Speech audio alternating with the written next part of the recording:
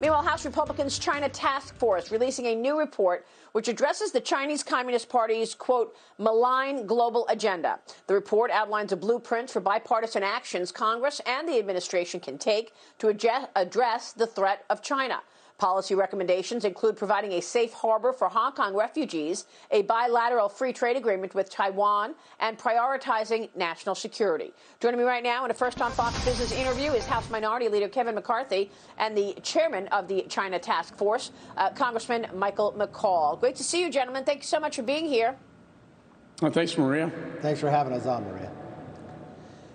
So, Congressman McCarthy, we didn't hear a lot of China last night. I'm glad you're releasing this report this morning. Tell us what's most important.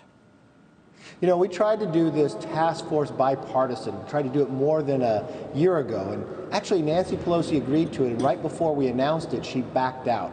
This is long before COVID. And the one thing that we've learned, I think, three major items that come out of this 60% of all the ideas out of here are bipartisan. We need to change our supply chain, not just for medical, but every other element of what we deal with within China. We need to innovate when it comes to the DoD, especially with AI, something that you have focused a lot on, Maria, and hypersonics and others.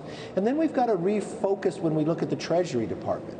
They have a team there for Iran and for North Korea, but they have no team in there, especially when it comes to sanctions, when it comes to China. You know how much they've been stealing from us. So the modernization and the preparation that we need, especially after what we've learned from COVID when it came to the supply chain, you should apply that to almost every element that we have within government of how far behind we were. And we cannot allow China continue to do that to us in the future. Well, I think that's incredible that we don't have that in Treasury when we have yeah. specific areas of Treasury focused on on Iran, North Korea, but but not on China. That that makes no sense. I'm so glad that you brought this up in this very important we know, report. We, uh, Congressman McCaul, yeah, go ahead. No, we just need more Mandarin speakers as well. There's so many elements of what we were, we got. We were woken up to the real challenge after COVID and the supply chain, and looking at every department in government. there's a lot of weaknesses there that China has taken advantage of us on. That we really have to open up our eyes and do something much different. And that's what this report really shows the rest well, of the country. This is a very important report. Congressman McCaul, let me ask you why it's okay for Joe Biden to dodge questions about China. He dodged all questions relating to his kids when we know that Hunter Biden was on that plane, Air Force Two, and then took money from the Chinese Communist Party. One issue, I think, is that China has been very strategic in terms of identifying people that will help them, uh, so whether that's in business, in academia, or even in Congress. How come Nancy Pelosi won't allow the Democrats to be part of this task force? Well, I think they made a, a big mistake here. Uh, they just want to focus on the president. They don't want to focus on where the virus came from. That's China. We want things to be made in America, not made in China. The virus is made in China but we want manufacturing and jobs made in the United States of America. And so what the leader is talking about is supply chain. How can we decouple what's really national security related and bring it back home where it's going to protect our national security, but also provide more manufacturing jobs, be really good for the economy. Um, I think, you know, the idea that they dodge that question is clear. You know, I prosecuted the uh, Johnny Chung case in 1996 where the Chinese uh, director of, of, intelligence was putting money in the Clinton campaign. We know the Chinese are try, trying, the Communist Party are trying to influence this election right now um, in favor of Joe Biden, and I think that should be part of this discussion as well.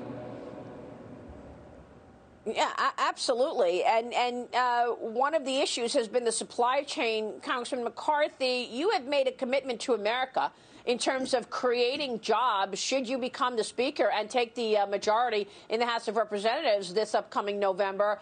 That commitment to America zeroes in on job creation. How long is it going to take to get these 10 million jobs created uh, that you believe you can uh, fire up from moving supply chains back to America?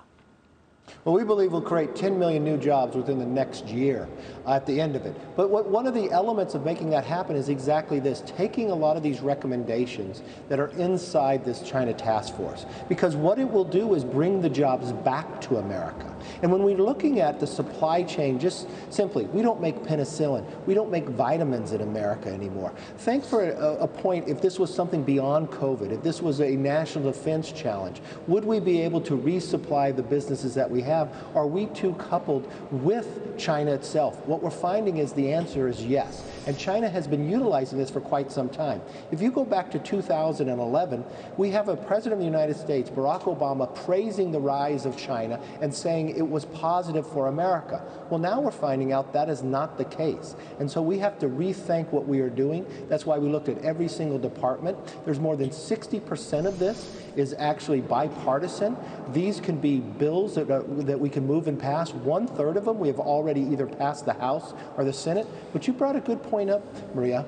Why are the Democrats not helping with this? Why did Nancy Pelosi pull back? I'm not sure what the Communist Party has on the Democrats, but it's pretty powerful. And we're reading in the paper a lot of FBI reports that China, the sophistication that they have of what they've been able to do to the supply chain, they're now applying that when it comes to the election, and they have determined who they want to win this election, Joe Biden. And it was interesting to me how little he would talk about China or even bring up when he was vice president to allow Hunter Biden to fly with him to get billions of dollars from China. He never said anything that he did that Hunter did something wrong or that he would stop him if he was to become president of doing that again.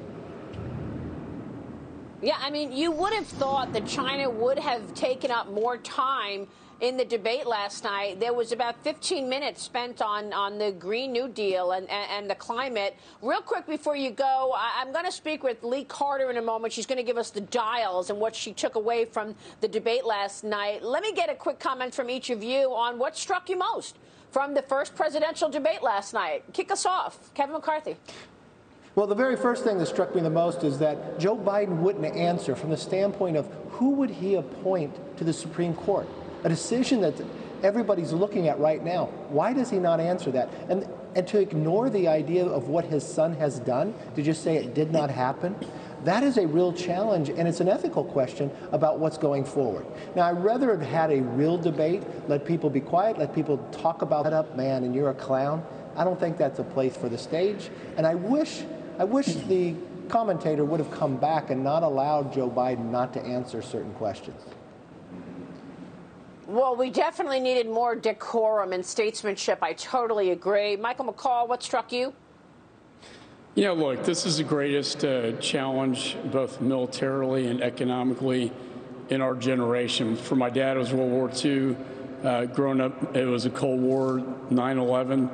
This generation, this is the biggest challenge we have, the greatest foreign policy challenge we have. And it, it was very, uh, it wasn't even mentioned last night. And, uh, you know, I hope in the second debate, there'll be more focus on what is what are the greatest challenges. The President of the United States is the Commander in Chief of the yeah. United States military, conducts foreign policy, and the Chinese Communist Party is the greatest national security threat to the long term interests of the United States. It needs to be brought up, it needs to be debated, and part of this uh, presidential election. Yeah, we, we also didn't hear anything about Middle Eastern peace which actually we're yeah. seeing for the first right. time in, in uh, 40 years or so. Uh, but, gentlemen, the conversation continues. Thank you very much for breaking that news on the show uh, with your new China Task Force report. Kevin McCarthy and Michael McCaul, we will see you soon. Congressman, thank you. All of this is in my new book. I hope you will pick it up. Pre order the book, The Cost Trump, China, and American Revival, that is coming out next month, but you can pre order it right now at thecostbook.com